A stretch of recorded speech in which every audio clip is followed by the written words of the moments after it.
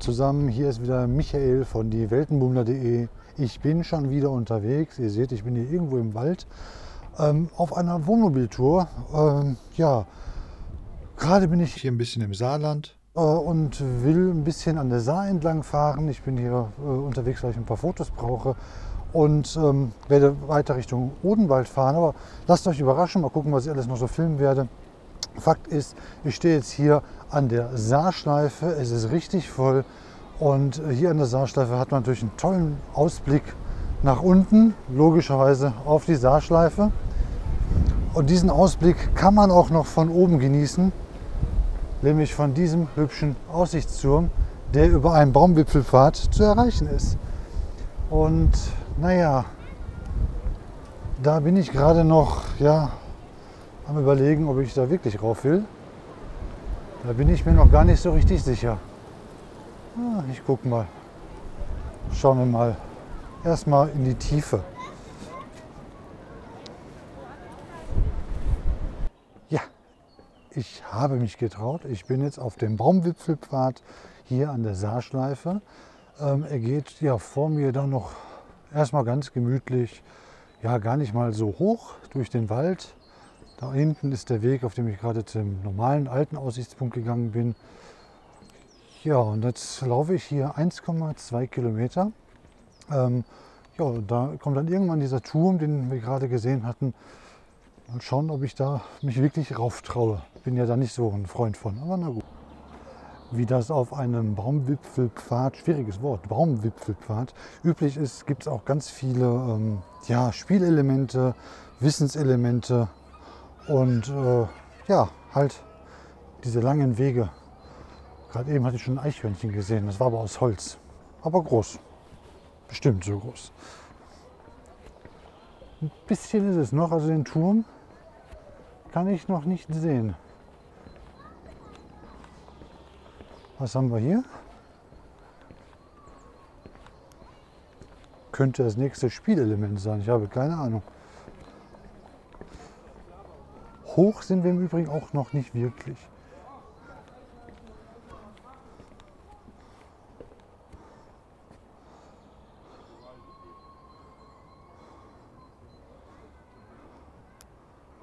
Okay, es ist ein Rastplatz. Oh, Picknickplatz. Gut, gesehen. Weiter. Ich muss sagen, ähm, es ist schon mittlerweile deutlich höher geworden hier. Es geht hier ganz schön runter. Und, aber das gehört ja auch dazu, es schwankt. Es schwankt jetzt schon. Und wir sind noch gar nicht auf dem Turm. Der Turm kommt da jetzt vor mir, so ein bisschen ins Bild. Ah, und da muss ich jetzt rauf. Will ich darauf? Muss ich, bin jetzt hier drin. Also gucken wir uns das mal genauer an. Aha.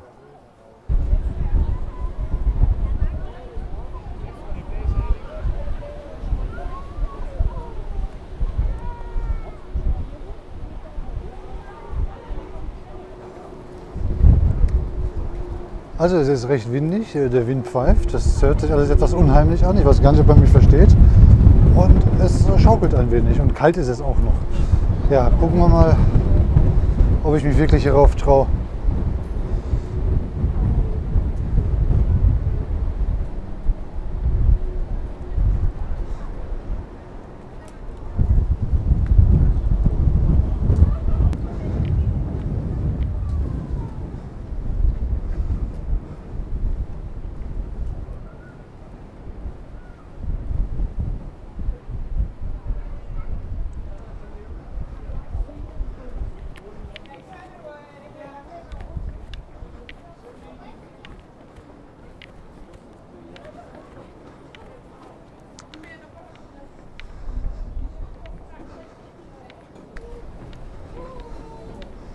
Also weit ist es jetzt für mich nicht mehr. Ich habe es gleich geschafft.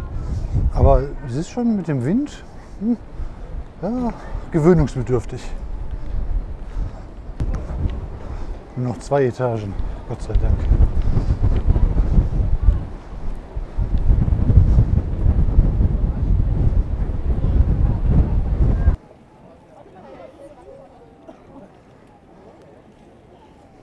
oben.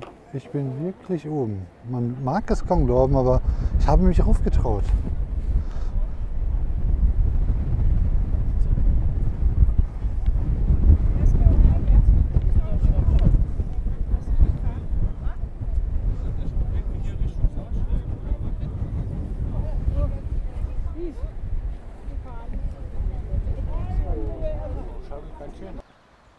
Das hat Spaß gemacht. Ich muss zugeben, es war windig, es war wackelig, es war kalt. Kalt ist es immer noch, aber es hat Spaß gemacht. Da oben auf dem Aussichtsturm äh, an der Saarschleife bei Mettlach. Ja, da bin ich aber schon wieder weitergefahren. Ich bin also schon wieder davon weg. Und zwar befinde ich mich jetzt hier in Bad Sobernheim, äh, also deutlich weiter östlich. Direkt an der Nahe. Die Nahe fließt dort vorne, na, schwer zu erkennen. Und äh, ja, hier bin ich auf dem Wohnmobilstellplatz untergekommen. Es ist alles hier ja, ungenutzt momentan. Minigolf, ne, alles noch aus Holz, die ganzen Anlagen. Fand ich ganz drollig. Naja, das Häuschen das sieht ein bisschen aus wie in Schweden. Ja, das ist das Sommercafé in Bad Sobernheim, direkt am Ufer der Nahe.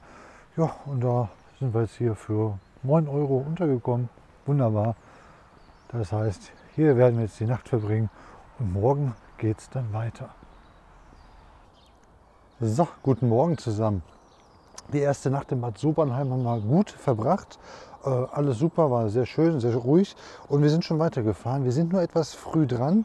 Ich stehe nämlich jetzt hier, naja, vor einer Plattform, vor dem, vor dem nahe Skywalk.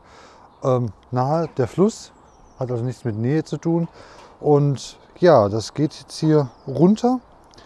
Ich, irgendwie ziehe ich sowas ja magisch an, dass ich hier, äh, mir solche Sachen angucke. Hier geht es auf jeden Fall weit in die Tiefe. Das Dumme ist nur, es ist ein bisschen nebelig.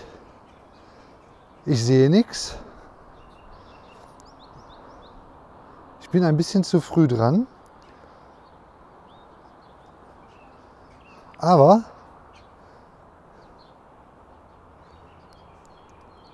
Aber gerade das macht das Ganze auch aus hier. Irgendwie ist das jetzt witzig, weil ich überhaupt nicht sehe. Äh, es geht hier weit runter. Ich höre die Straße von unten. Ich sehe sie nicht. Da drüben ist irgendwo ein Berg, gerade so eben schemenhaft zu erkennen.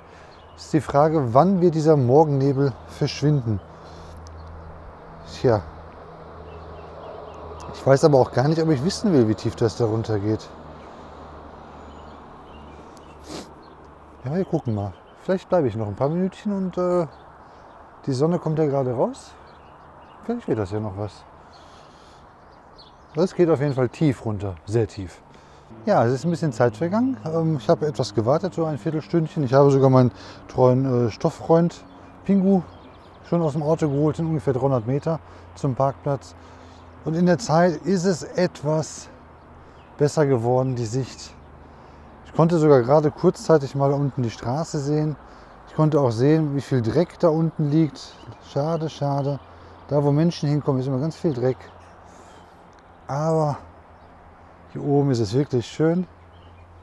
Sollte man also in den frühen Morgenstunden sich einfach mal antun und beobachten, wie hier der Nebel sich auflöst. Und jetzt zieht er sich unten schon wieder zu. Na gut,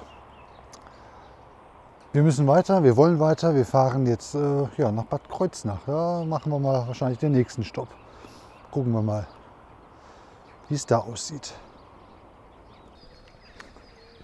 Ja, wie gerade schon angekündigt, äh, sind wir dann nach dem nahe Skywalk hier nach Bad Kreuznach gefahren.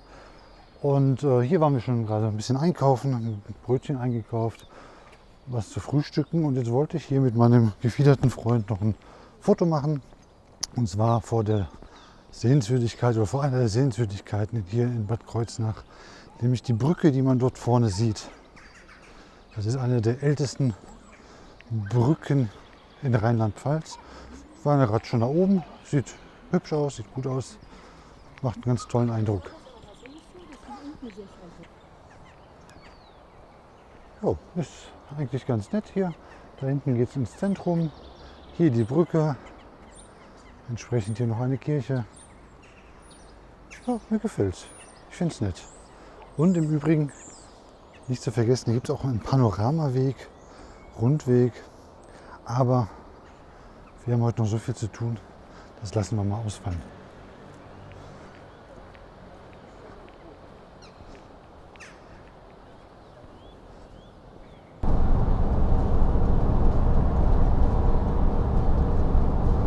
Wieder unterwegs, irgendwo auf der A67. Ähm, ja, wir hatten jetzt Bad Kreuznach und wir hat, ich hatte ja schon ein paar Mal gesagt, wir fahren Richtung Odenwald. Wir haben also mittlerweile Rheinland-Pfalz verlassen und ähm, wir sind jetzt ja irgendwo Großraum Frankfurt. Ich weiß gar nicht. A5 Richtung Basel kommt gleich als nächstes. Ja, und da wollen wir einfach mal gucken. Ich kenne mich im Odenwald selber auch noch nicht so gut aus. Da ähm, haben wir ein paar Orte, kleinere Orte, wo wir dann ein paar Fotos machen. Ja, und dann schauen wir mal, wo es uns hinführt.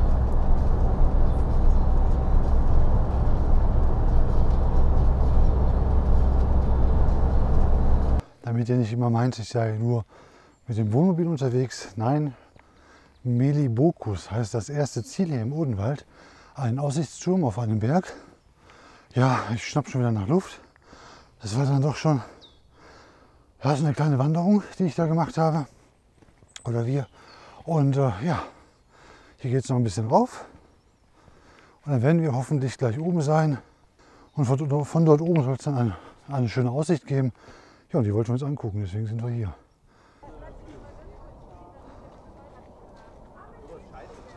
Geschafft.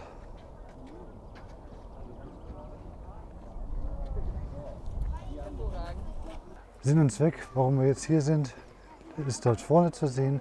Das ist nämlich hier das Felsenmeer im Odenwald.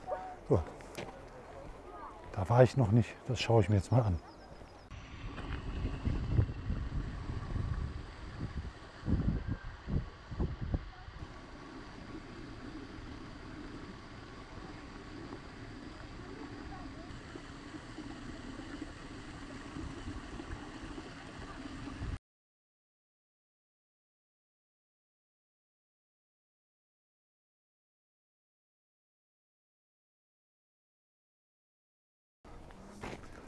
Ich muss sagen, es ist nett, das einmal zu sehen, aber es ist ganz schön voll und laut. Naja, und äh, es geht wieder steil bergauf. Naja, egal. Ihr Lieben, ihr habt das gerade gemerkt, ähm, am Felsenmeer war es mir ein bisschen zu voll. Das muss ich ganz ehrlich zugeben. Äh, es war, es war richtig viel los, es war richtig viel Rummel. Ähm, und wir waren jetzt im Laufe des Abends auf der Suche nach einem Wohnmobilstellplatz, wo wir übernachten können. Irgendwo hier in Hessen im Odenwald. Und ich sage einfach mal, ich denke, wir haben es gefunden. Also das ist dieser Wohnmobilstellplatz, auf dem wir hier gerade stehen. Mit einem einzigen anderen Fahrzeug hier noch zusammen. Und ihr seht, hier ist richtig, richtig viel Platz. Und es ist so still hier. Es ist ein Traum von Wohnmobilstellplatz. Das muss man einfach mal sagen. Es ist wirklich, ich bin begeistert. Das wird hoffentlich, na, ich gehe davon aus, es wird eine ruhige Nacht werden. Ja, in diesem Sinne sehen wir uns dann morgen wieder. So, und äh, damit ist es heute Morgen schon wieder weitergegangen. Wir hatten erst sehr viel Pech mit dem Wetter. Es hat äh, stark geregnet. Wir sind auch vorhin einmal richtig nass geworden. Aber wir sind jetzt hier, ja schaut einfach mal selber, in Bad Wimpfen. Und ich muss sagen, es sieht hier richtig toll aus. Ähm, da unten fließt der Neckar. Das ist das Neckartal. Und das gefällt uns richtig gut hier. Hinter uns die Kaiserpfalz und eben halt die Altstadt von Bad Wimpfen. Und das ist jetzt auch erstmal im Grunde so der Rest unserer Reise. Es geht eigentlich jetzt so langsam wieder Richtung Heimat. Wir werden dort also in diese Richtung äh, ja, dem Fluss folgen, quasi nach Heidelberg, ungefähr grob, müssen wir mal schauen. Immer am Fluss entlang, ein paar Städtchen noch anschauen und ja, morgen Abend werden wir dann langsam wieder zu Hause im Ruhrgebiet eintrudeln. Insofern gucken wir mal, was es hier noch so alles gibt rund um Bad Wimpfen und am Neckar.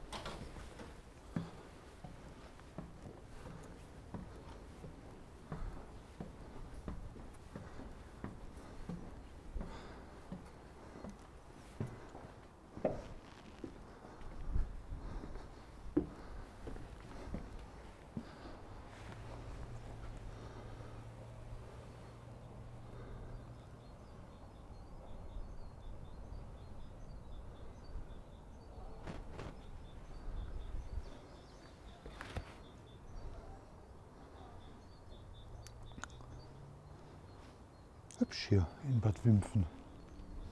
Ja, gefällt mir gut.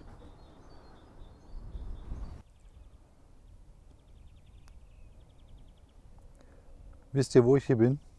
Ich bin schon wieder auf diesem schönen Stellplatz, mitten auf dem Golfplatz. Ihr wisst schon, der für 5 Euro. Super günstig, super ruhig. Und wir wurden heute Nacht tatsächlich von Vögeln geweckt, oder heute Morgen besser gesagt, die ja, auf unserem Autodach saßen und äh, ein bisschen rumzwitscherten. War richtig schön. Ähm, wir wollten gestern eigentlich noch am Neckar entlang fahren, haben wir auch gemacht. Wir waren noch ein bisschen am Neckar, wir haben uns ein kleines Örtchen angeguckt, Moosbach, Eberbach. Sind durch die Margaretenschlucht gefahren, äh, gelaufen, gelaufen, Gottes Willen, da kann man nicht fahren. Äh, da konnte ich aber auch nicht filmen, das war sehr glatt, sehr rutschig. Wir hatten viel Pech mit dem Wetter gehabt, wobei in der Schlucht selbst nicht. Aber kurz vorher hat es extrem geregnet und es war furchtbar ähm, äh, matschig und glatt und deswegen äh, habe ich nicht gefilmt. Aber ein paar Fotos blende ich jetzt mal einfach ein. Und äh, ja, nach der Margaretenschlucht äh, sind wir noch weitergefahren Richtung ja, am, am Neckar, flussabwärts, aber haben es nicht mehr bis nach Heidelberg geschafft. War auch nicht schlimm. Wir haben irgendwann keine Lust mehr gehabt, weiterzufahren und haben gesagt, Mensch, das ist so schön hier. Hier fahren wir wieder hin und äh, ja, haben wieder unsere 5 Euro bezahlt und hatten eine wunderbar ruhige Nacht hier an diesem kleinen Teich, mitten auf dem Golfplatz. Ganz offiziell. Ja, und damit haben wir auch gesagt, es reicht jetzt. Wir fahren jetzt nach Hause. Das ist der letzte Tag heute gewesen. Wir haben ähm, die Saar ein bisschen kennengelernt. Wir sind an der Nahe entlang gefahren. Wir haben Mosel und Rhein überquert. Wir waren auch kurz am Main und gestern am Neckar. Also wir haben jetzt genug Flüsse und jetzt geht es auf die A3 Richtung Ruhrgebiet. In drei Stunden sind wir zu Hause.